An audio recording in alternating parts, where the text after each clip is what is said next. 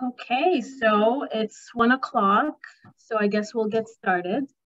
Um, um, so first of all, hello everyone and welcome to the National Policy Challenge Finals. Um, this competition is a collaboration between the Canadian Research Data Centre Network, SAS Canada and Statistics Canada. And we're very excited about the projects that our finalists have been working very hard on and they've been working on them for months. So we're very much looking forward to their presentations today. Um, joining us today are our judges who help us to determine the award recipients today. So uh, we have Hugh Cairns from SAS Canada. We have Mark Frenette from uh, Statistics Canada, Jeremy Higgs from BC Ministry of Education and Childcare, Ramona Kiabagu from University of Regina, and then my, Marion Steele from University of Guelph. So um, before we get started, I just wanna um, address a couple of housekeeping items. Um, so first, I just wanted to let you know that the recording of this competition will be up on our YouTube channel um, in the next couple of weeks. And um, second, we will be sending out a link to a feedback form towards the end of this, um, to, towards the end of the competition. So please do complete that form. It only takes a couple of minutes and it gives us very valuable feedback on, um, on basically everything, on, on, on planning our future offerings, basically. Okay, so now without further ado, I'd like to welcome David Hewett, who will be giving us the welcome address. Um, David is Vice President, Vice President at SAS, and he is responsible for the Canada section of SAS. David, off to you. Thank you very much. Um, and uh, a big thanks to everyone for joining us this afternoon. I'm, I'm sure that um, welcome is extended from the Canada Research Data Center Network and Statistics Canada. So um, uh, as you've heard, we're going to hear from five, um, from what I can tell, is exceptionally talented finalists from right across Canada and, and the work that they've undertaken. Um, and I have to say that just looking at the subject matter, uh, there are some things that there was there were some items there that really caught my attention. Um, uh, I moved to, across the pond uh, uh, in 2009 and my kids were five when we moved. They're now 18 and I actually happen to have my in-laws staying with us at the moment. So that kind of, it is always that, that role of the grandmother piece and how my children have been affected by the early stage life with grandparents with them on a regular basis to uh, not having their grandparents very much is, is a really kind of core topic that uh, hits my heart, if you like. The other area that I thought was really, really interesting is um, about cannabis use. Um, uh, I worked in the construction industry uh, around the world for, for many years um, with different rules and uh, requirements around um, cannabis uh, or any kind of um, drug use really in, in, in a kind of safety related orientation. So um, we, in some locations, we had a bigger challenge with cannabis use uh, than we did with alcohol use, which is kind of a really interesting thing and, and something that uh, Canada, with the change in laws uh, over the last couple of years, um, is likely to see some effect from that in safety critical work. um, so I, I, found those two particular topics, not to pick anyone out, but uh, those particular topics really, really interesting. Um, uh, I, um, as, as, as been mentioned, my name is David Hewett and I lead SAS's operations in Canada.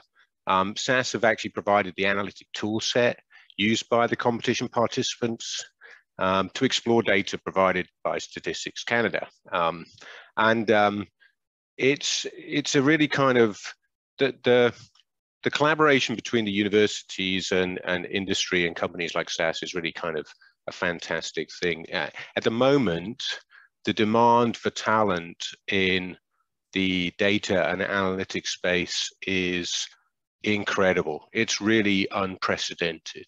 Every customer that I talk to has a massive challenge with having talented individuals um, bringing through talented individuals in the data and analytics space. Um, of course, that's being fueled by digital transformation in almost every aspect of our life, uh, in every segment, in every sector.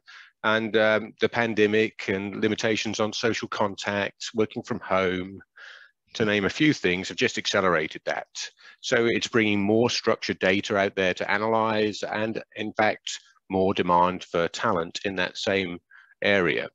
Um, so when you look at that, competitions like the National Policy Challenge, that's really helping that to develop that talent and and also it's kind of differentiated in a way by giving student researchers secure access to really large data sets, which otherwise they wouldn't have. Um, and, and that opportunity to explore their curiosity with evidence-based policy solutions. Now, it's a real differentiator for the talent that gets to come through this, this program. So I'm absolutely certain that every one of these finalists and probably everyone who took part is a winner in one way or another um, uh, in what they've done. Um, it's, it's a really, um, fabulous opportunity to get that experience and a real valuable commodity for each of those careers as they go forward. Um, so maybe to finish off, um, uh, you probably know this, but at SAS, we really value curiosity, um, really value using data for just causes, um, and also developing analytic talent. So uh, that kind of sustains our business and um, sustain some of the advancements that we're making in society. So this, this competition itself matches up with many of the values that we have as a company, certainly my personal values. So I've been delighted to, to introduce this and, and hand it over for the policy pitches. Thank you very much. Thank you, David, for your address. Um, so now we are ready for the first component of the competition, which is the policy pitch session. And to start us off, we have Jennifer Frimpong, who is a PhD candidate at the University of Manitoba. So Jennifer, off to you.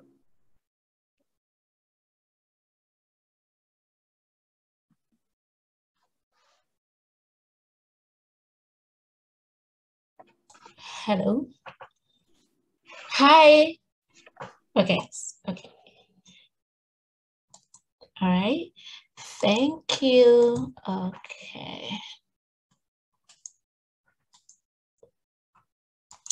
Hi, I'm Jennifer Frimpong. Thanks for having me. Uh, typically, we think of uh, family class migration has been mainly for immigration, uh, mainly as uh, unification with no economic benefit. My research shows that there is a significant economic impact of uh, uh family class immigration that might uh, that may be undertoned by the uh, policy. From 1992 to 1995, Canadian immigration policy shifted away from family class immigration to economic immigration. This led to decrease in the proportion of uh, parents and grandparents that immigrated to Canada after the policy, as shown on figure one. Since the, uh, since the literature has shown that proximity to grandparents increases labor supply, any policy that reduce any policy that affect proximity to grandparents might have an, uh, an uh, might have an unintended consequence for labor supply. To so, uh, however, if you look at immigration policy, you realize that the, you realize that the uh, you realize that the intergenerational aspect of labor supply have largely been ignored. To fill the gap, I test the effect of policy on I test the effect of the policy on employment of immigrant women with young children. The using a uh, using using a triple difference model and a longitudinal administrative data bank. The results shows that the policy have a statistically significant, significant effect on employment of immigrant women with young children. Based on my research, I believe that we have uh, we have underestimated the economic uh, economic benefit of family class immigrants in the Canadian labor market. In that regard, policymakers should explicitly recognize the the contribution that family members make in providing uh, childcare and how these impact the labor supply of connected family members. If we, if we put this calculation in, in policies that sets immigration policy, it will increase the labor supply of immigrant women with young children. In that regard, I also, I also argue that we should also uh, concentrate on immigrants, women with young children who might be more in need of uh, social support. Thank you. Thank you, Jennifer. Um, and now next is Samer Hamamji, a PhD student at the University of Toronto. Samer. Okay, thank you, Perry. Okay, I will uh, have an overview of my research. In Canada, based on the, the Public Health Agency, the increasing rates of diet-related chronic diseases are associated with increasing death and direct healthcare costs. In this context, Health Canada has reviewed scientific evidence related to healthy eating and chronic disease prevention and released in 2019 the new food guide. With its supportive guidelines, Canada's dietary guidelines for health professionals and policymakers, which emphasize the regular consumption of healthy food choices. Data on the association of adherence to these guidelines and cardiometabolic risk in Canadian has not been explored. So we developed a food choices assessment score using the Canadian Health Measure Survey, as it is the only available national survey in Canada, includes direct health measures and dietary assessment using a food frequency questionnaire. Results showed that the food choices assessment score is a valid score and was able to distinguish between different populations with non-different in diet quality, such as smokers and non-smokers, and revealed that Canadians with higher value of the score as higher diet quality were 30 to 52% less likely to be obese based on both body mass index and waist circumference respectively, and 35% less likely to have abnormal lipid measures. These findings will help policymakers to monitor diet quality in Canadians according to the new food guide and create targeted interventions to improve the overall health in Canadian population.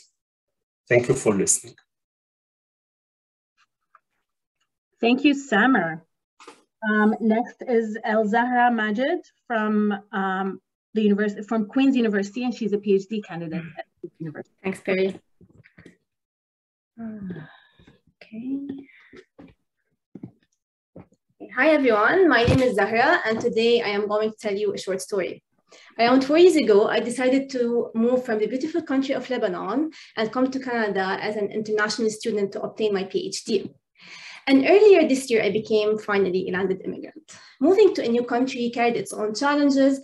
And you know what eased the transition and made me feel more at home? Running. Well, physical activity mainly. Physical activity played an important role in improving my health, integration, and overall immigration experience.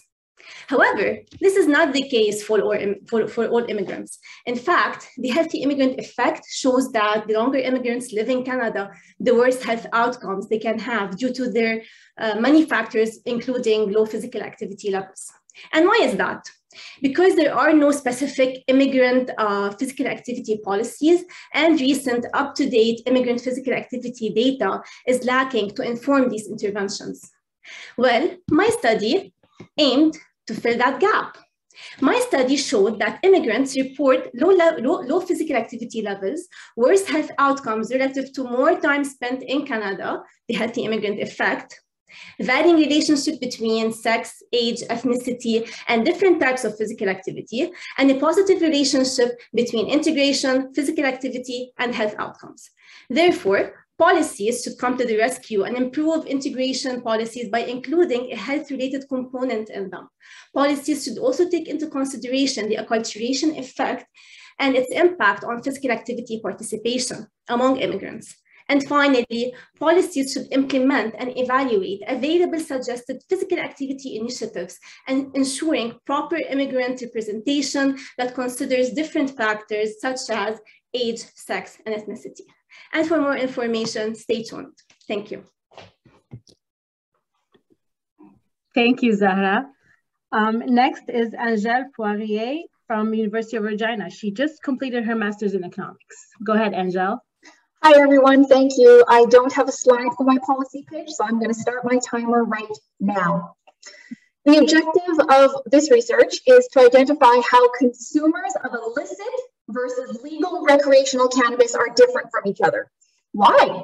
So we can tailor policy instruments to the different groups to achieve certain policy goals, like reducing overall cannabis use or getting consumers to switch from illicit to legal.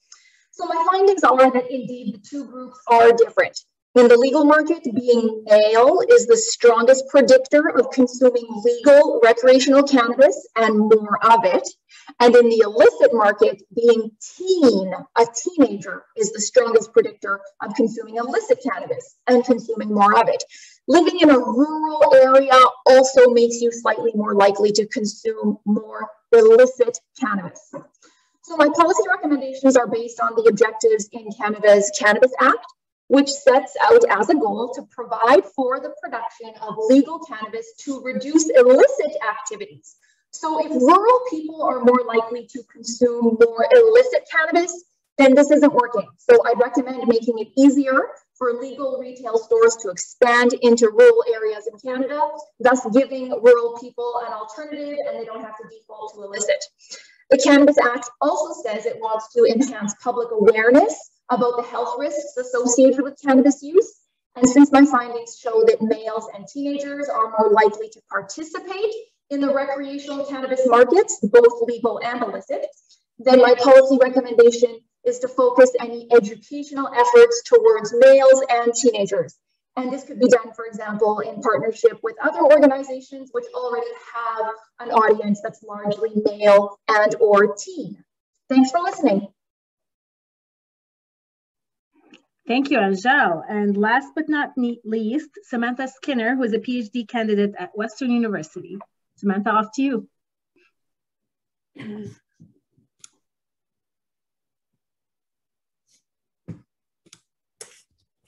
Everyone see the slide okay? Okay. So informal caregivers have an essential, an essential role in our healthcare system. In 2018, 24% of Canadians provided some form of help to someone in need.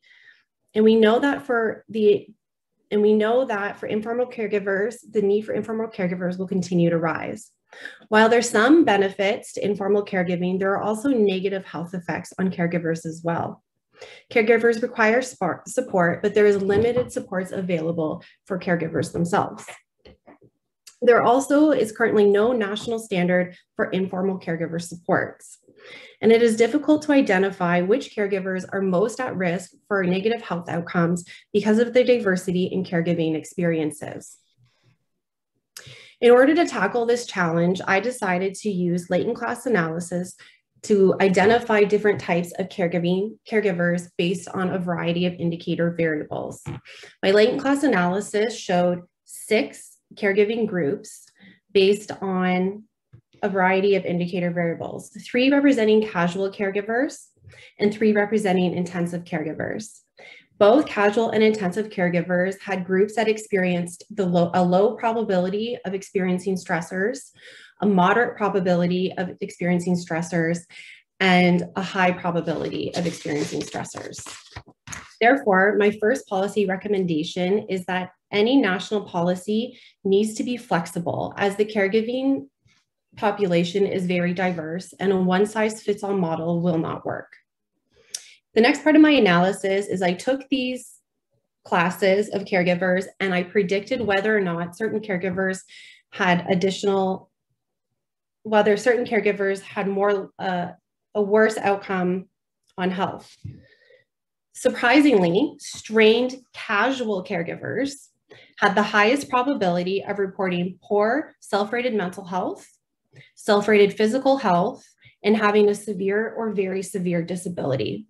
Therefore, I recommend that national level policies should be comprehensive enough that casual caregivers can qualify for them, as usually only intensive caregivers qualify for supports. And casual caregivers may also be an overlooked group in caregiving research and subnational policy levels. Thank you. Thank you, Samantha. So that basically concludes our two-minute policy pitch session.